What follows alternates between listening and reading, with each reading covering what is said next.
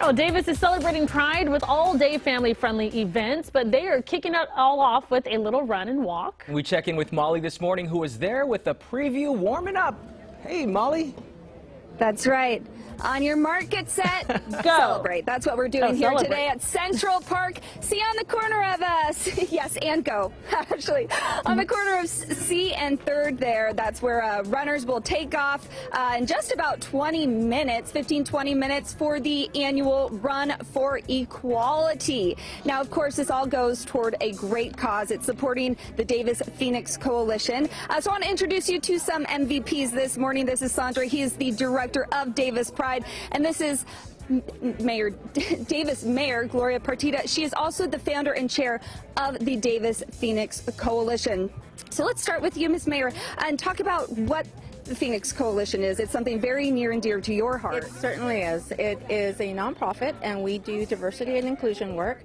And so we try to heighten the visibility of our marginalized people in the community. We do anti-bullying work. Uh, we support other groups that are doing diversity and inclusion work.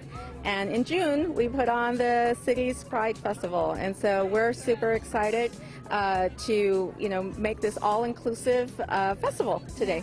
And talk about the Phoenix, too. That's uh, beautiful. So, uh, the start of our uh, nonprofit was caused by a hate crime, and so about eight years ago, my son was involved in a very violent hate crime, and, uh, the, and we started the Phoenix Coalition to, as I said, work on these issues that are, you know, still very present and still need a lot of work.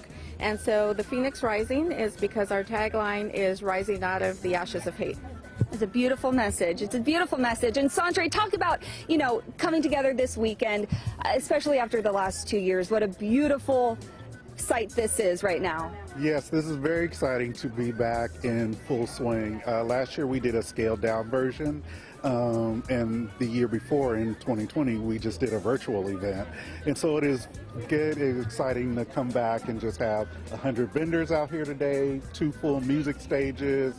Um, how many? 150 runners out here. Bunch of You zones. know, bunch of everyone. zones. So we are very excited to be back at full capacity. It's awesome. Now, it might be too late for you to come out to run unless you get here really Oh, no, quickly. you you could be. have 15 You still have 15 minutes. Okay. Hurry on Let's over. go. Uh, but there is a lot of celebration to do today. But let's talk with some of the runners. Now, some people have traveled a long ways. There's runners of all ages. Uh, Ellen here came all the way from Antioch this morning. You Oh, drove an hour this morning to be here. Absolutely. We drove an hour. We have friends that live here. We're supporting them. Um, and besides, it's a great cause, and kids really need to know that they're accepted for who they are. My daughter came out. It was, yeah. You know, so she's got her little rainbow, and it's just a great cause, so it's worth coming out for. Yeah, a lot of celebration and joy here this morning. Absolutely. Absolutely. Well, I hope you run fast, but more importantly, I hope you just find joy in, in the day. You know what? I want to run safe, which is what everybody wants to be safe. Beautiful. Well, we're going to catch the start of the race. Uh, they kick off at 8, so we'll be here as we do that. And then coming up in the 8 o'clock hour, we'll also hear about the festival that is coming up. You have plenty of time to come out and celebrate uh, for the festival later today. Hey, we'll send it back to you. Sounds great. Perfect. Looks Thank like so fun out much, there. Molly. Thanks, Molly. Out on C Street.